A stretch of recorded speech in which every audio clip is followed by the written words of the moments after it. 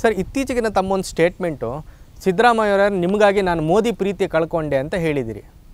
ಇದು ಯಾವ ಆ್ಯಂಗಲ್ನಲ್ಲಿ ಇಲ್ಲ, ಅದು ನಿಜನೇ, ಅದು ಕಾರಣ, ನನಗೆ ಮೋದಿಯವರು ಸುಮಾರು ಒಂದೂವರೆ ಗಂಟೆಗಳ ಕಾಲ ನಾನು ರಾಜ್ಯದ ಕೆಲವು ಸಮಸ್ಯೆಗಳ ಬಗ್ಗೆ ಚರ್ಚೆ ಮಾಡಲಿಕ್ಕೆ ಹೋದಾಗ ಅವರೇನು ಅಡ್ವೈಸ್ ಮಾಡಿದ್ರು. ನೀನು ಪ್ರತಿನಿತ್ಯ ಒಳ್ಳೆ ಕೆಲಸ ಮಾಡ್ತಿರ್ತಕ್ಕಂಥದ್ದು ನಮ್ಗೆ ಮಾಹಿತಿಗಳಿದ್ದರು ಅದರಿಂದ ನಿನಗೇನು ಅದರಿಂದ ಒಂದು ಒಳ್ಳೆಯ ಹೆಸರು ರಾಜ್ಯದಲ್ಲಿ ಬರ್ತಾ ಇಲ್ಲ ನೀನು ಏನು ಸಮಸ್ಯೆಗಳನ್ನು ಎದುರಿಸ್ತಾ ಇದೆಯಾ? ಗೊತ್ತಿದೆ, ನಾನು ಈ ರಾಷ್ಟ್ರದ ಪ್ರಧಾನಮಂತ್ರಿಯಾಗಿ ನಿನಗೆ ಸಂಪೂರ್ಣವಾದಂಥ ಒಂದು ಭರವಸೆ ಕೊಡ್ತೀನಿ.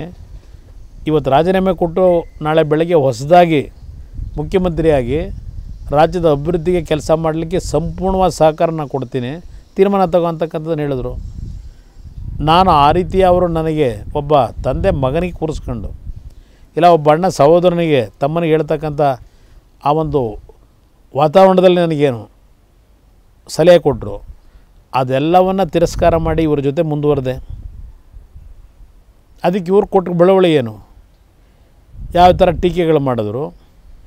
ಏನು ನಡೀತು ಅವೆಲ್ಲ ಘಟನೆಗಳು? ಇದರ ಆಧಾರದ ಮೇಲೆ ಹೇಳಿದ್ದೆ. ಸರ್ ಮೋದಿಯವರು ಹನ್ನೊಂದು ದಿನ ಉಪವಾಸ ಮಾಡಿದ್ದೇ ಸುಳ್ಳು ಅಂತ ವೀರಪ್ಪ ಮೊಯ್ಲಿ ಅವ್ರು ಹೇಳಿದಾರಲ್ಲ ಸರ್ ಇದು ನಿಜಾನ? ವೀರಪ್ಪ ಮೊಯ್ಲಿ ಅವ್ರ ಬಗ್ಗೆ ಏನಿದೆ ಬ್ರದರ್ ಅವ್ರ ಬ್ಯಾಕ್ಗ್ರೌಂಡ್ ಸರ್ಟಿಫಿಕೇಟ್ ಏನು ಕೊಟ್ಟಿದ್ದಾರೆ? ಗರ್ಭಗುಡಿ ಒಳಗಡೆ ಬಿಟ್ಟಿದ್ದೆ ತಪ್ಪು ಅಂತ ಹೇಳಿ ವೀರಪ್ಪ ಮೊಯ್ಲಿ ಅವ್ರ ಬಗ್ಗೆ ಏನು ಹೇಳ್ತಾರೆ ಹೇಳಿ? ನರೇಂದ್ರ ಮೋದಿಯವರು ಹನ್ನೊಂದು ದಿವಸ ಹೇಳ್ತಾರಲ್ಲ ಸತ್ತೇ ಹೋಗ್ಬಿಡ್ತಿದ್ರು ಹನ್ನೊಂದು ದಿವಸ ಎರಡು ದಿವಸ ಉಪವಾಸ ಕೂತ್ಕೊಂಡ್ಬಿಟ್ರೆ ಸತ್ತು ಹೋಗ್ಬಿಡ್ತಾರೆ ಅಂತ ಯಾರೋ ಡಾಕ್ಟ್ರ್ ಹೇಳ್ತಿದ್ರು ಅಂತ ಹೇಳಿ. ಕರ್ನಾಟಕದಲ್ಲಿ ದೇವೇಗೌಡರು ಒಂದು ದೊಡ್ಡಳ್ಳಿ ಗೋಲಿಬಾರಾದಾಗ ಒಂಬತ್ತು ದಿನಗಳ ಕಾಲ ಅಮರನಾಥ್ ಉಪವಾಸ ಸತ್ಯಾಗ್ರಹ ಮಾಡಿದ್ದಿಲ್ಲಿ ನಿದರ್ಶನ ಇದೆ. ಒಂಬತ್ತು ದಿನಗಳ ಕಾಲ. ಅದು ಬರೀ ನೀರು ಕುಡ್ಕೊಂಡು ಒಂಬತ್ತು ದಿನ ಇಲ್ಲಿ ಉಪ, ಉಪವಾಸ ಇದ್ದರು ದೇವೇಗೌಡರು, ಮಹಾತ್ಮ ಗಾಂಧೀಜಿಯವರು. ಎಷ್ಟೆಷ್ಟು ದಿನಗಳ ಕಾಲ ಉಪವಾಸ ಕೂತಿದ್ದಾರೆ. ಏನಾಗೋಯಿತು? ಇವರು ಈ ಮಟ್ಟಕ್ಕೆ ಮಾತಾಡ್ತಿಲ್ಲ ವೀರಪ್ಪ ಮೊಯ್ಲಿ ಅವರಿಗೆ. ಮಾನ್ ಸುಳ್ಳುಗಾರ ಅಂತಕ್ಕಂಥದ್ದನ್ನು ನಾವು ಹೇಳಿದ್ದೆಲ್ಲ ಹಿಂದೆ ಮುಖ್ಯಮಂತ್ರಿ ಇದ್ದಾಗ ಅವ್ರ, ಅವ್ರಿಗೆ ಒಂದು ದೊಡ್ಡ ಸರ್ಟಿಫಿಕೇಟ ಕೊಟ್ಟಿದ್ದಾರೆ.